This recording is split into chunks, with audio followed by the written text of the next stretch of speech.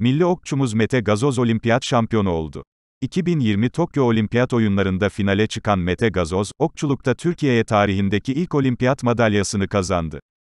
2020 Tokyo Olimpiyat Oyunlarının 8. gününde klasik yay bireysel kategoride mücadele eden milli sporcu Mete Gazoz, finalde İtalyan rakibi Mauro Nespoli'yi yenerek altın madalya kazandı. Mete Gazoz yarı final maçında Japon rakibi Takaharu Furukawa'yı 7-3 yenerek finale yükseldi.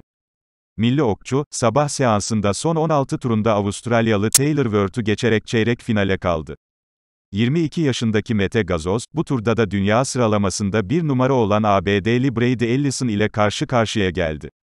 İlk seri seti 2 ila 0 alan Mete, ikinci sette iyi bir performans sergilemesine rağmen 1 ila 1 eşitlikle ayrıldı. Üçüncü sette rakibinin attığı 8'i değerlendiremeyen Mete Gazoz, durumun 3 ila 3'e gelmesini engelleyemedi.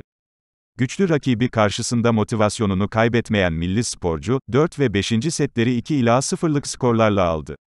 Maçı 7-3 kazanan Mete, adını yarı finale yazdırdı.